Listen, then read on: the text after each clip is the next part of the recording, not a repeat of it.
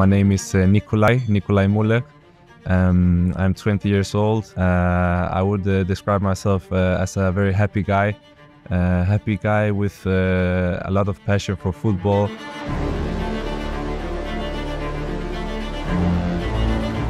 I grew up in Malmo. Um, I started playing when I was 12 years old for the first time in a professional club in Malmo then.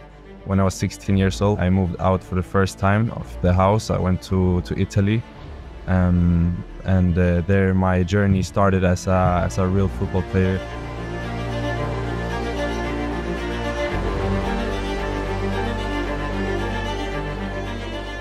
I'm very fast.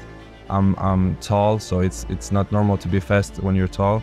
I have I think a good feeling for the game, good vision.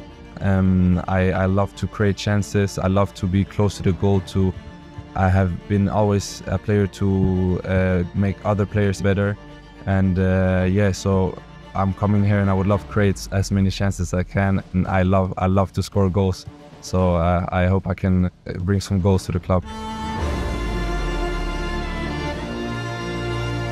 I thought that St. Gallen was, was such a beautiful club and from the moment they contacted me I did some research with, with my family and my agent and I think everything just clicked. It's like uh, sometimes you have these moments in life you just have the feeling that it's gonna be right and I had this beautiful feeling about this and I'm, I'm really happy to see what's gonna happen and uh, I'm sure it's gonna be great.